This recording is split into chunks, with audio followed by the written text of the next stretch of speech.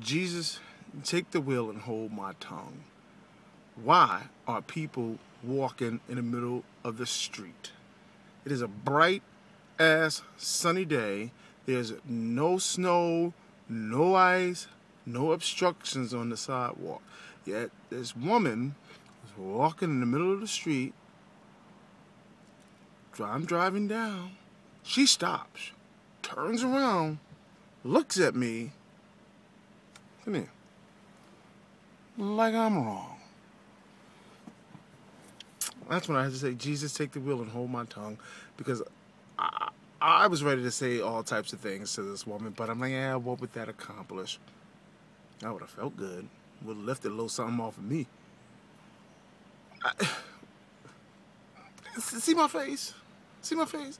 This is the look of why are people walking in the street? At what point in life do we walk in the middle of the road? What point?